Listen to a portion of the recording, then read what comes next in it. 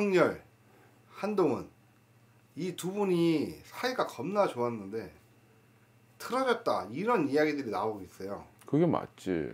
아 틀어졌다? 맞지. 어 점으로 봤을 때 그렇게 나와요? 아, 당연하지. 한동훈도 어떻게 보면 머리가 있는 친구야. 머리가 좋은 사람이고. 이제 윤, 윤 대통령을 통해서 얻을 거 다 얻어봤잖아. 근데 세상에 10명 중에 8명이 윤 대통령이 아니고 틀렸다고 해. 그럼 거기에 계속 신복으로 남아 있을 수, 이- 남아 있는다면 그 사람이 정말 바보겠지. 좌초되는 배에 같이 있을 일은 없겠지. 틀어줘야 되는 게 당연한 거고. 틀어줄 수밖에 없고. 뭐 다시 뭐 사이 좋아진다든지 음, 뭐 그렇지는 않을 거야. 어, 그렇지는 않을 거야. 좌초되고 있는데 거기에 왜 타? 안 타지. 그렇잖아.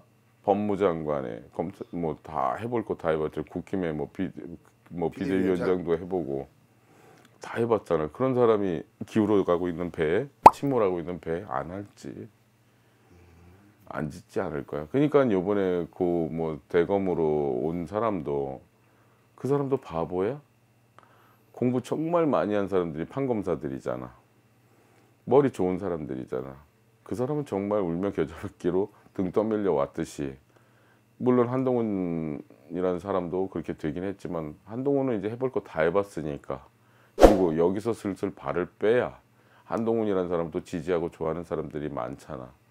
그런 사람들이 지금은 그 사람들 계속 다 끌- 끌고 가려면은 윤 대통령하고는 손을 놔야지. 일단 사이는 틀어졌다 점으로 봤을 때 당연하지.